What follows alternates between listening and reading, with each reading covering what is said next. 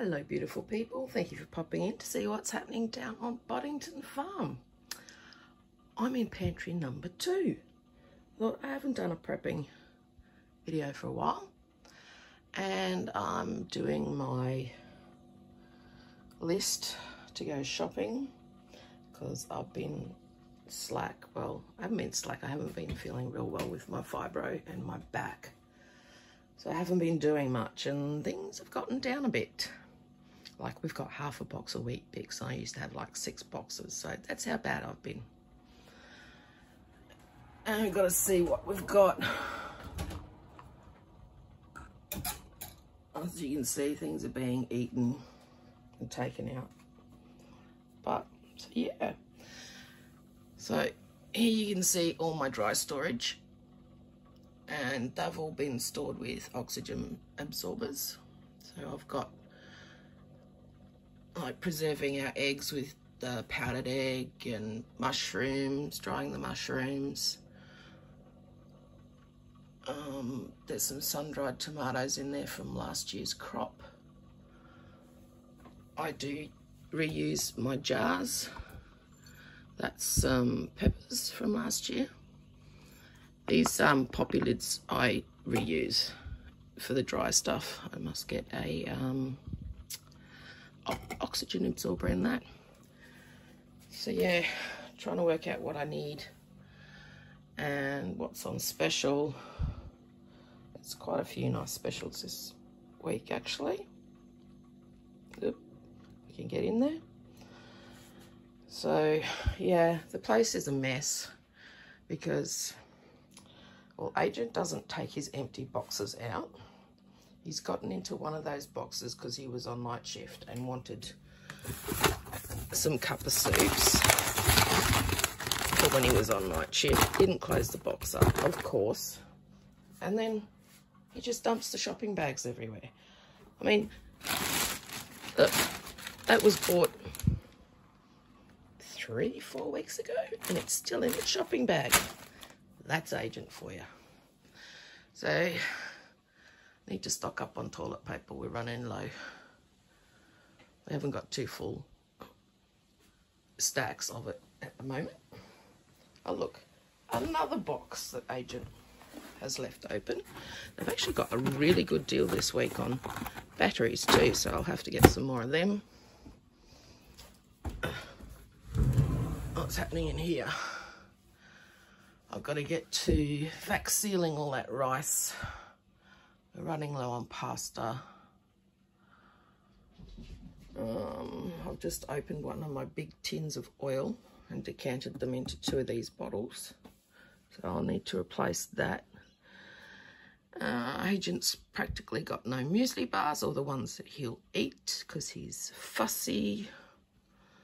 And I've got to rearrange in here too because I do go shopping, people go and stuff things in my pantry and they just throw them everywhere.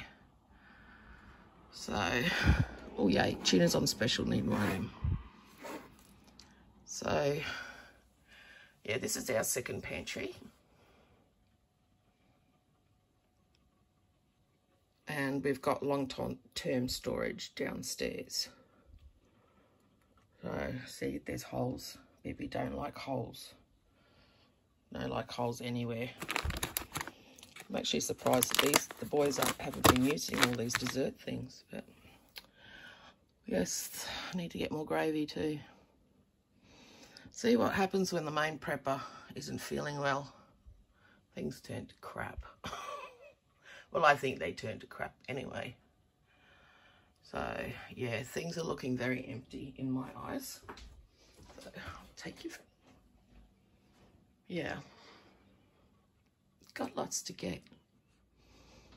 So this is pant, well, the main pantry, the one in the kitchen. And that's looking a bit bare as well. Yep. Time I went shopping. At least we don't need baked beans. We've got lots of them. oh man, things are looking so low. Yep. So most people go, oh, but you've got so much food everywhere, Viv. No, I don't. I don't have enough now. All up there used to be full of packets of Weet-Bix.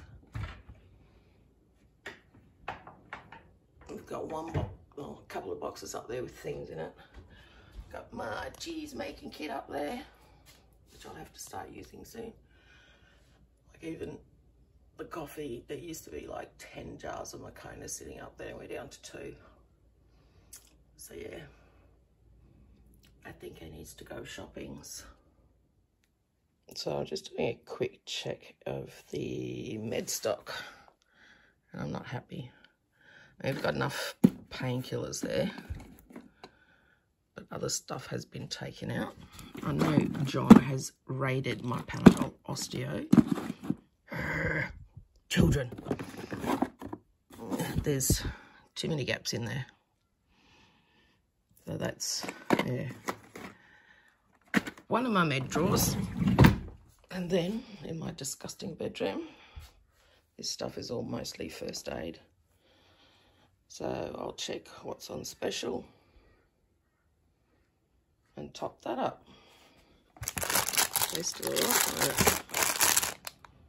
So yeah, how slack am I? Look, I've got all my jars just sitting there. How bad is that? Look. Because I actually store all my jars in there All my lids and stuff. So they need to be filled with all my clean jars. And I've got a brand new pack of, I found too. Yes, excuse the mess in my room and what the cats have done. Look what I got. Yay! Found some of them too. So that's awesome. So yeah, I've got some stocking up to do this weekend. I think I'm going to drag Agent out make sure he's not sitting on the computer all weekend again, which he has been doing. So, there you go, guys. This is what happens when you let your preps go for about two months. Lots of money to fix it.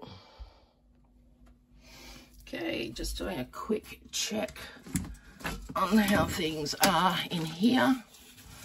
Haven't checked them for a while. These are all our um, water glassed eggs. I think all up we've got four dozen up here and there's more downstairs.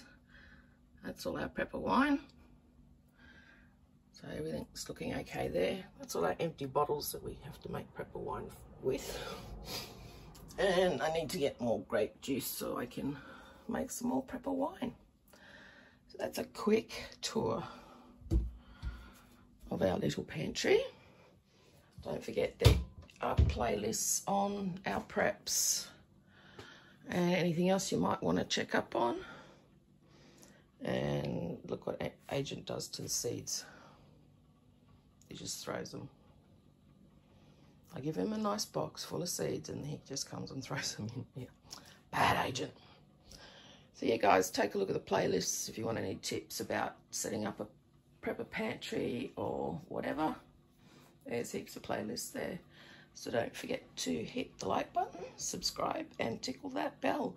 And I'll see you soon. Catch ya.